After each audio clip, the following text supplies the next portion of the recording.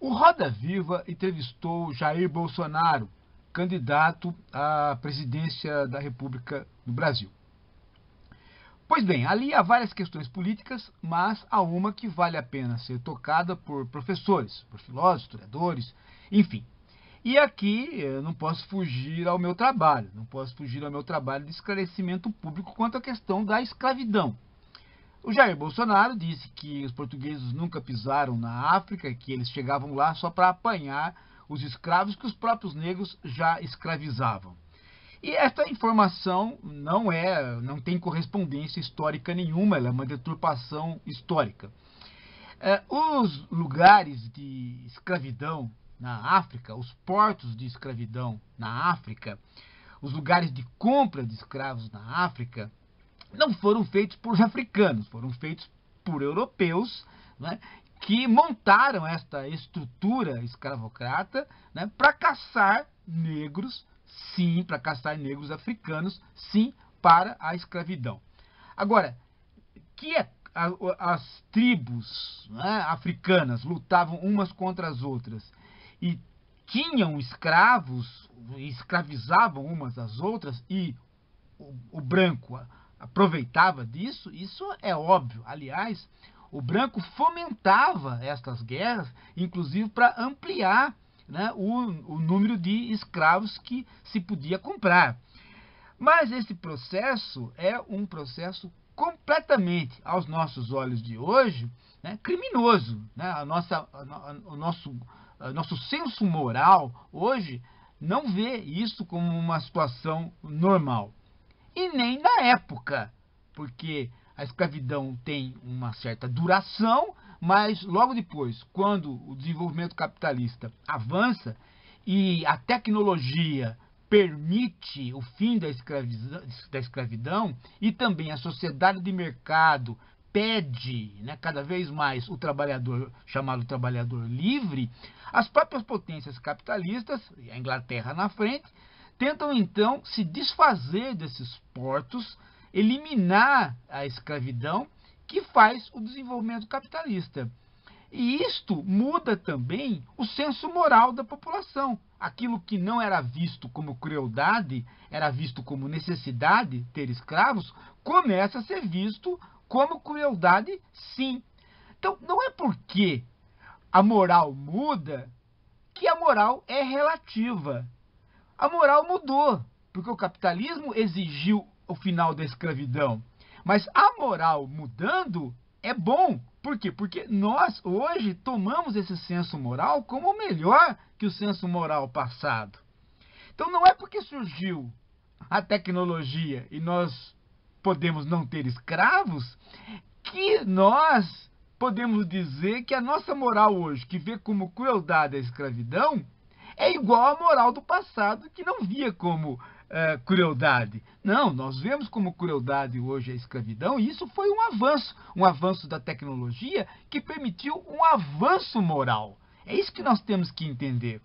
Agora, nós temos que entender também que um outro tipo de escravidão surgiu, que é o fato de que existem hoje muitas pessoas que não estão acorrentadas, mas estão presas por outros laços, por laços econômicos, por laços de, por laços de distância geográfica, por não possuir documentos ou por estruturas de países que, baixo, que pagam baixo salário, inclusive empregando crianças, estão a um novo tipo de escravidão. Né? E que é denunciado, e que é denunciado por quem faz a defesa dos direitos humanos.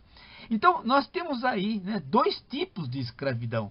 Uma, né, que é a escravidão é, de um momento em que a tecnologia ainda não permite o trabalhador assalariado, né, e a escravidão num outro momento, onde a tecnologia permite o trabalhador assalariado e, no entanto, ainda assim as pessoas colocam os trabalhadores em condições é, semelhantes àquelas do escravo.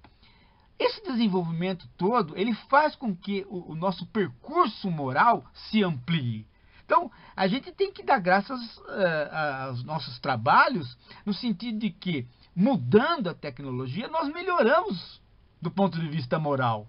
E não dizer, olha, ora bolas, né? Naquele período era necessário o escravo, então aquilo não foi uma crueldade. Pelo contrário, muita gente que via aquilo como necessidade, no entanto, já tinha compaixão de quem estava sofrendo a escravidão e já começava a lutar pelo fim da escravidão, mesmo não sabendo como que seria o futuro, como que seria a força de trabalho futura. Então também há aqueles heróis né, que percebem para onde está caminhando ah, as coisas né, e, e fazem a intervenção no sentido da melhoria moral. Agora, é, tudo isso para dizer o quê?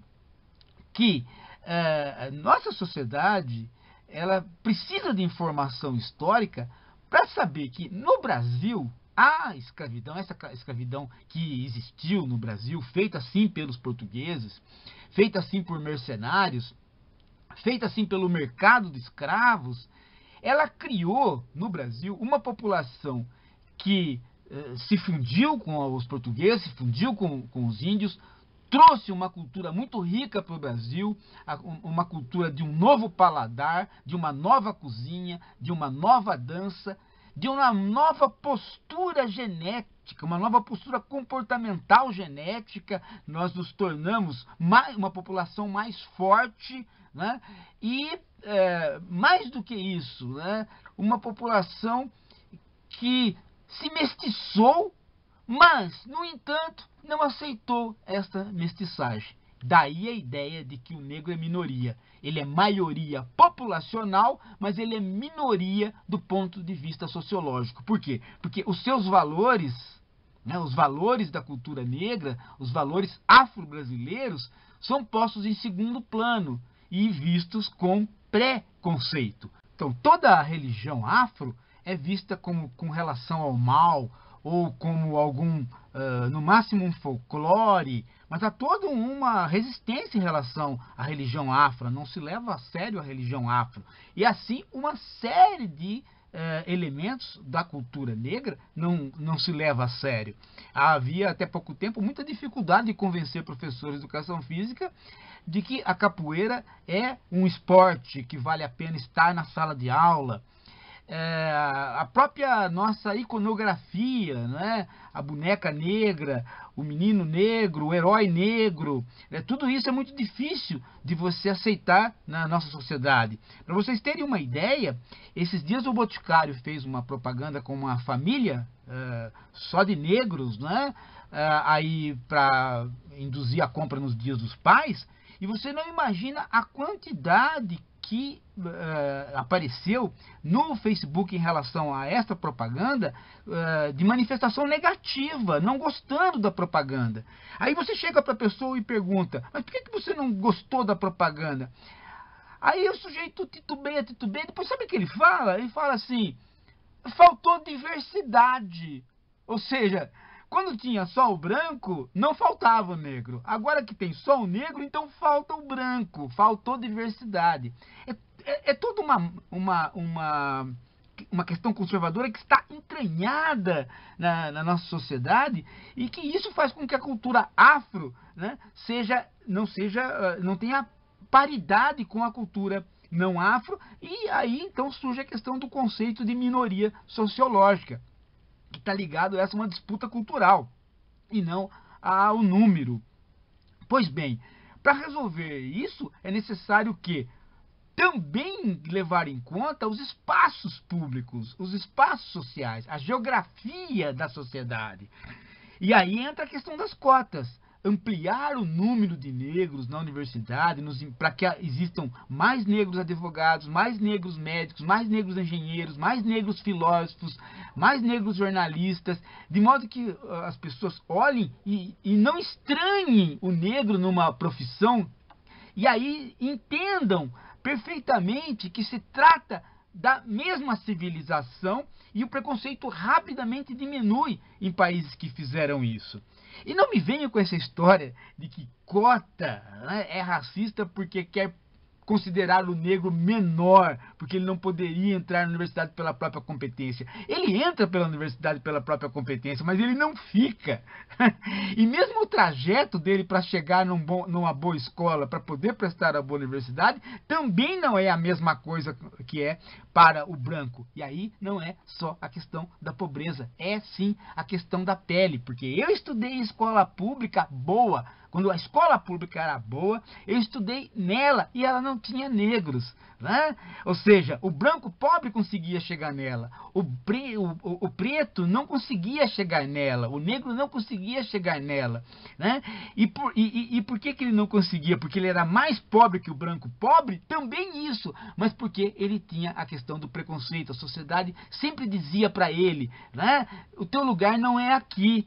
Você não vai conseguir chegar até o final. E, além do mais, você não foi feito para isto. Né? Você não foi feito para ser médico, você não foi feito para ser filósofo, você não foi feito para ser professor, você não foi feito para ser engenheiro, você foi feito para puxar carroça, você foi feito para o trabalho manual, você foi feito para a aquilo pelo qual você veio. O português te trouxe para você fazer o trabalho da colheita do café e você vai continuar assim. E se não tiver mais a colheita do café, você vai para o morro, você vai para a favela para traficar, porque lá é teu lugar.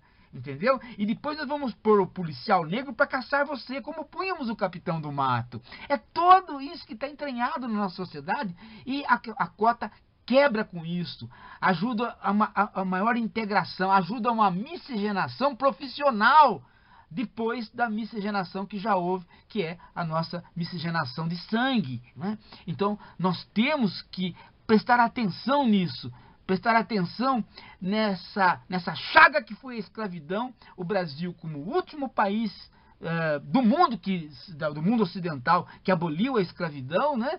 E depois para essa situação uh, uh, de injustiça que, que, que, que, que vivemos.